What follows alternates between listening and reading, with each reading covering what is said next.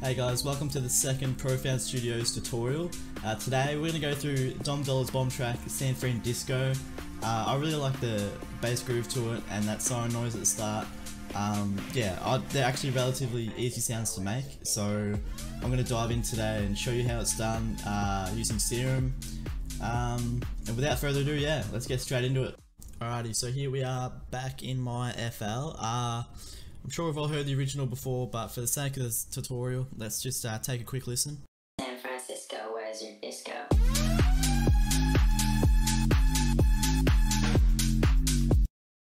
As I said uh, earlier, we are going to go through the bass line and the lead. Um, I've got the bass line pretty spot on to the original. Um, the lead, it's not quite exactly the same, but um, yeah, that's not really the point of these sort of tutorials. But first, let's just quickly listen to what I have recreated. San Francisco, where's your disco?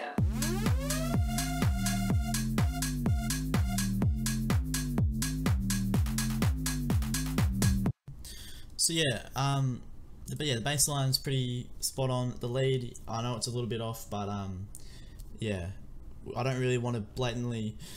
The idea of these tutorials isn't to just blatantly copy or anything like that. Um, you know, no disrespect to the artists or anything. I don't want to, you know, rip them off or things like that. It's basically just to give you guys an insight into how a sound ma- might have been made. Um, you know, techniques to use, what the artist may have done to make a sound, uh, things like that. So uh, let's firstly, let's just go start off with recreating the bass line. Uh, let's take this back to init preset. So we start off from scratch. Um, put the MIDI in so we can hear along the way how things are sounding. Um, and it's, it's relatively simple. So we're just going to go uh, the FM wavetable. Going to pitch it down two octaves. And let's listen to what it sounds like already.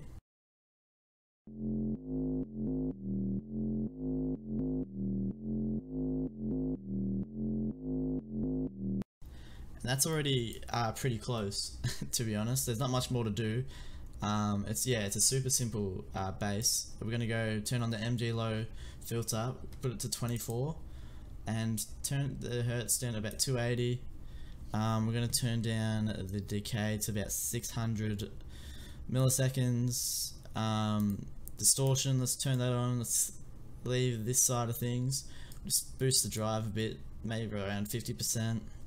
Let's just turn the master a bit, so it's a bit louder for you guys to hear. And that's literally all you need to do. Let's take a listen.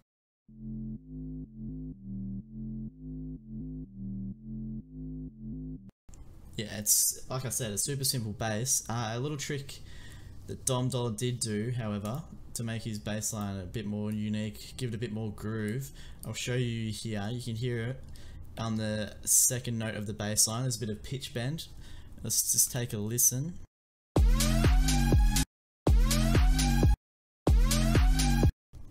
So you can hear that on the second note of the bass line, and that's um, it's relatively simple. You know what I would or what I have done is I've just turned that, put these both at 12 semitones, so that's kind of the range that the pitch bend can go, and then just what I've done is I've just kind of played around with the pitch bend and just got a similar vibe, really. So let's listen to the what the pitch bend is doing.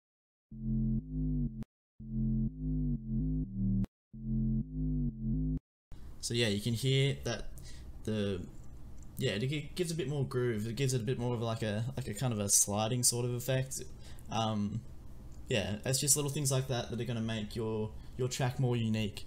Um, so that's something to think about when you're um, yeah making your bass lines or any sound really. Just think about how you know how you can make a sound a bit more unique, sound a bit more you know a bit more you really. Um, but yeah, that's the bass line. It's, as I said, super simple.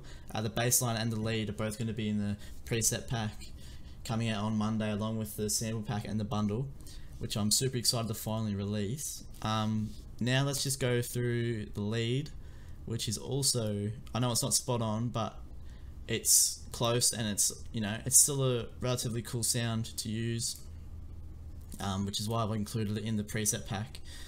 Um, let's just go turn this back to the start so we can go from scratch. And we're going to copy the MIDI again. so we can hear how it sounds. Alright, so let's turn this on as well. We're going to turn this up one octave. Um, triangle waves, by the way. Um, okay, we're going to turn up uh, the unison to 5 on both. We're going to turn this B fine up to 29 as well, by the way. Um, and from wait, from here, the envelope. So we're just gonna leave everything else apart from the sustain. We're gonna turn that all the way down, and with with that pitch bend effect, how it goes, kind of like it goes down and up. Don't mind whatever that was, but um, it, it's like you can either do that, you know, automating the pitch bend here, or you can do it, um, you know, using the envelopes here, which I prefer to do. So we're going to drag this directly onto the coarse pitch. And then we're going to hit shift, alt, and then click to make it unilateral. That's trick there. And then to get that pitch bend sort of effect, we're going to turn this down to about 20, minus 23 on each. Alright, now let's listen to Oh. Am I on the right one? Uh, oh no, I'm not. I've got everything muted. Okay, let's start again. So let's listen to how that's sounding.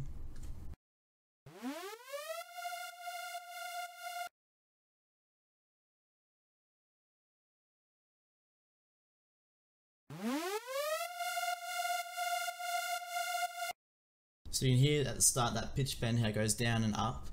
And you can sort of adjust this like if you wanted to go old you wanted to go to the extreme sort of thing.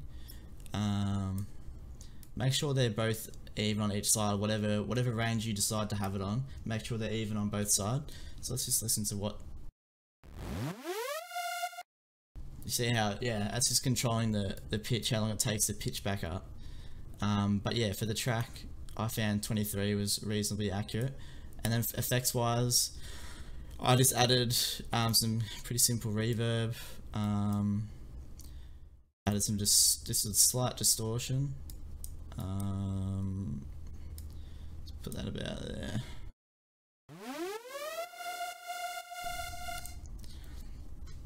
And then what else? Let's go the EQ as well. So we're gonna take out the some of the lows, and then we're gonna also boost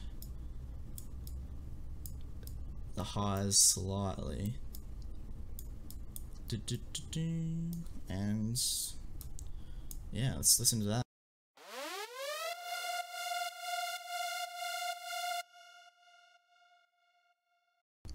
So yeah, it's pretty, it's close, it's, it's, it's a cool lead regardless.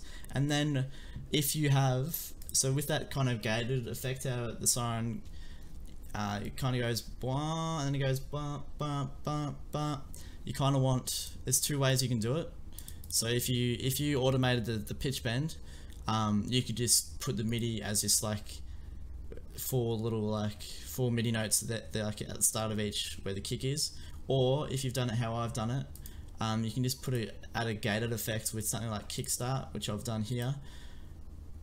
And so I've just automated it so it's it's not gated on this part of the lead, but it is on this part. So I'll show you how that works.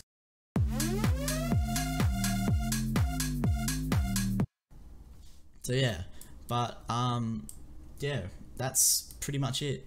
Um, I hope that's hope that's been helpful. Um, also, the drums I use, by the way, are in the sample pack coming out Monday. So um, yeah, I can't cannot wait to finally get that to you guys. But um, that's it for this tutorial. Um, I hope it's helped you. If it has, um, please drop a like, a subscribe. Um, it's going to help me out a lot. Um, our socials have been going well already in the first couple weeks of launching, so that's great. I thank you guys so much for that.